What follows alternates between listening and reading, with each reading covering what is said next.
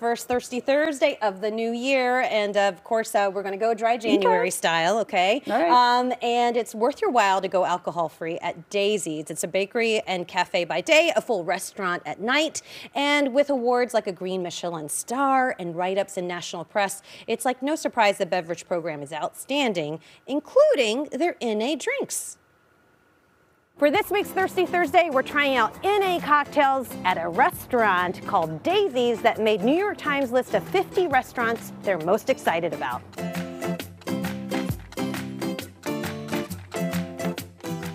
Daisies is a Midwestern Italian restaurant. So what does that mean?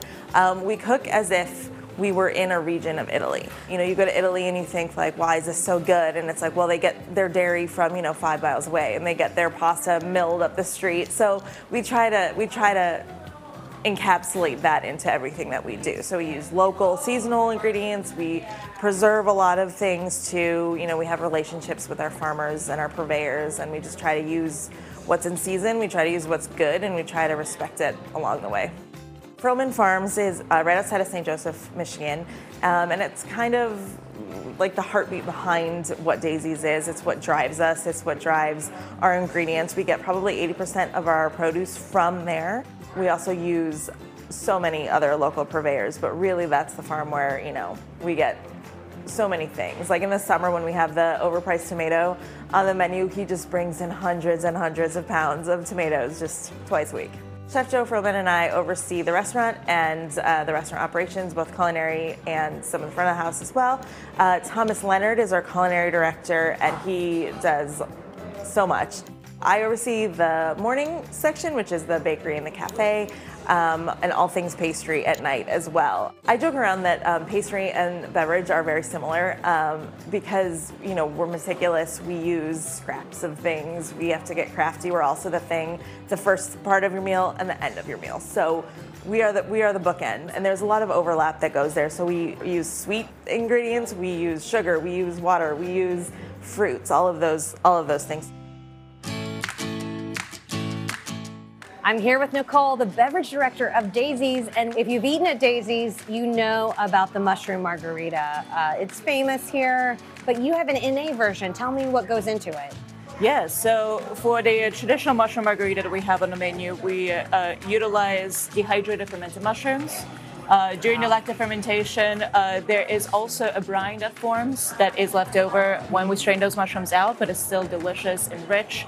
Uh, so we uh, uh, steep that with a mixture of uh, spices and herbs and make that into a syrup and let that be the highlight of that beverage. Of simple Daisy. Stunning. It's so earthy. It's fabulous. It tastes like mushrooms. Yeah. Has the spirit of the mushroom in it.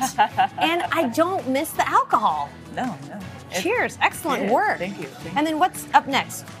Uh, next, we have the Old Orchard. Uh, it is uh, one of the most recent additions to our seasonal program. Uh, it is a pear, dill, and tarragon tea. We primarily utilize the stems uh, left over from the garnishing of our dishes. And uh, we steep that with a non-alcoholic aquavit that we make in-house, but you can also substitute it with something that is pretty and bitter like matcha and uh, yeah, helps me tarragon syrup. It's so incredible. It's like refreshing, but it's earthy. It's rich. It's also got a little bit of tartness to it. Yeah. It's fabulous. Yeah, it's a fun one. All right, and then what are we ending with? So we wanted to mimic that uh, very pretty trend of orange, like skin contact wines. Beautiful. Um, so we steeped uh, Verjus, which is acidified grape juice. Uh, with a mixture of herbs and barks and spices and toasted yeast and a cacophony of other flavors that uh, just end up in a very pretty beverage that uh, stands stands up to the same properties. Salud. Salud. Wow. Okay. I am not missing the booze in any of this. It is so unique. I have never had NA cocktails that are so complex and interesting and flavorful as yours. Thank you so much, Nicole. Absolutely. It's a pleasure. Cheers, my dears. Yeah. Cheers. Is that your new tagline? I, I think it, it is. Cheers, my dears. yes. I mean, but what I said is yeah. I stand by it. And you know me, I like my booze. Sure, yeah. But I didn't miss it. It looked delicious. And you yeah. know how normally I show you bottles of what goes into uh-huh. the cocktails? Well, there are no bottles to show because they make everything in house and they use their, that's why they have the green Michelin because it means they're sustainable. Oh. So all the scraps from the kitchen that aren't being used for dinner or for the cafe, that's what they're using to ferment and make. I mean, that was homemade wine. Incredible. So good. yeah. That's so impressive. Yes, I got to take you there. Okay. Yeah, yeah, I know. It- Date it's set. shocking, shocking. right? Valentine's That Day. I There didn't we miss go. the booze. Right. All right. Head over to Daisies for your NA cocktails and for everything else. So delish. And check out their website and socials to learn a whole lot more. While I was there, Sarah. You know, I had to try the Chicago style hot dog croissant. We talked about it earlier. Um, this has been all over the news, so I wanted to get the scoop on the Daisies and Wiener Circle collaboration.